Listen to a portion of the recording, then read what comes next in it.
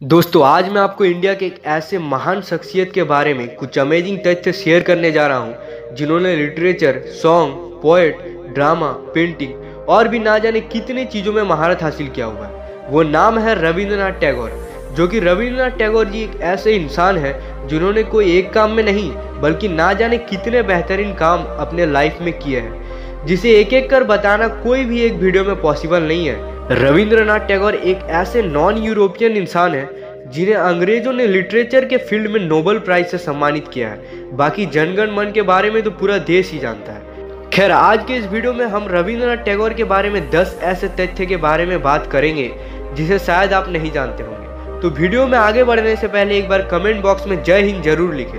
Fact number one Rabindranath Tagore दुनिया के अकेले एक ऐसे कवि है, जिनकी दो कृतियाँ हैं। इन्होंने दो देशों के राष्ट्रगान दिए भारत के जनगण मन और बांग्लादेश के Amar Sonar Bangla.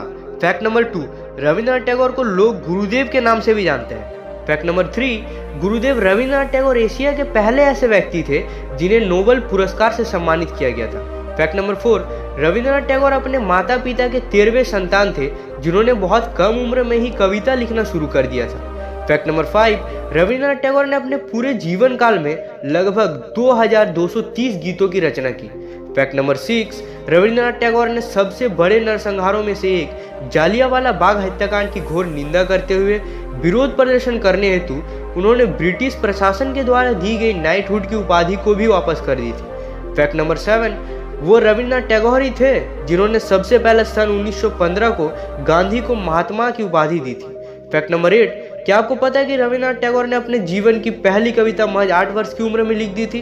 Fact number nine Rabindranath Tagore का निधन 7 अगस्त 1941 को कलकत्ता में कैंसर का वजह से हुआ था। फैक्ट नंबर टेन क्या आपको पता है कि गुरुदेव रविन्द्रनाथ टैगोर के नाम से एक डायनासोर का नाम रखा गया है? बारह पासुरस टैगोरी का नाम गुरुदेव रविन्द्रनाथ टैगोर के नाम पर रखा गया है। दोस्तों, उम्मीद करता हूँ कि गुरुदेव रविन्द्रनाथ टैगोर की ये छोटी सी वीडियो आपको अच्छी लगी होगी। अगर अच्छी लगी हो तो वीडियो को लाइक करें, वीडियो को ज़्यादा से ज़्यादा लोगों तक शेयर करें, हमारे इस चैनल को सब्सक्राइब करें और नोटिफिकेशन बटन को ऑन कर ले, ताकि इस तरह के हर अमेजिंग जानकारी आप तक सबसे पहले पहुँच सके।